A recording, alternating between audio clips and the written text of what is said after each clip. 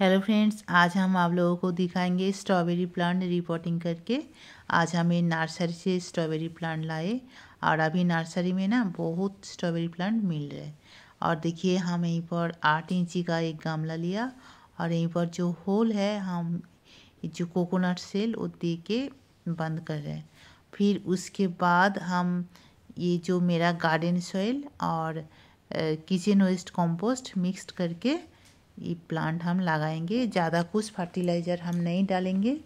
तो बीच बीच में हम लिक्विड फर्टिलाइज़र देंगे।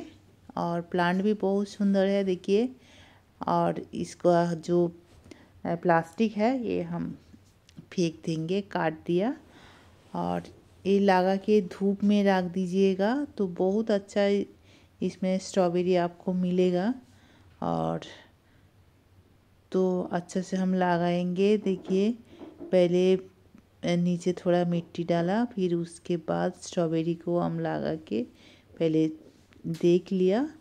तो ज़्यादा हम नीचे नहीं रखेंगे, क्योंकि स्ट्रॉबेरी ऊपर में होता है उसका ये ज़्यादा मिट्टी में लग रहेगा तो उसका सड़ जाता है ज़्यादा करके।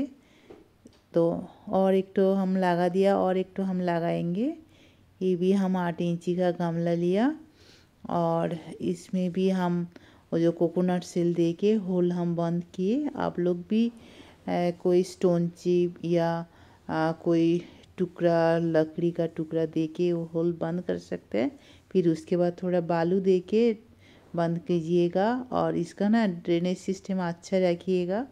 तो नहीं तो इसमें थोड़ा पानी जम जाएगा तो ये सड़ जाता है। तो इसको भी हम लगा देंगे। और पहली बार जब लगाइएगा, जो आप काउडंग कंपोस्ट यूज़ कर सकते हैं तो ज़्यादा करके ज़्यादा पुराना काउडंग कंपोस्ट यूज़ कीजिएगा। नहीं तो ये प्लांट है, सड़ जाता है। और कुछ नहीं है, थोड़ा केयर लीजिएगा बीच बीच में फांगी साइड यूज़ कीजिएगा तो अच्छा है। तो चलिए, लगा लिया। अभी हम पानी डालेंगे। पानी डाल के हम धूप में रख देंगे, कुछ नहीं होगा। तो आप लोग भी ऐसा करके ये प्लांट को लगाइएगा। तो ये वीडियो आप लोगों को कैसा लगा फ्रेंड्स ज़रूर बताइएगा। मिलते हैं अगले वीडियो में। Happy gardening thank you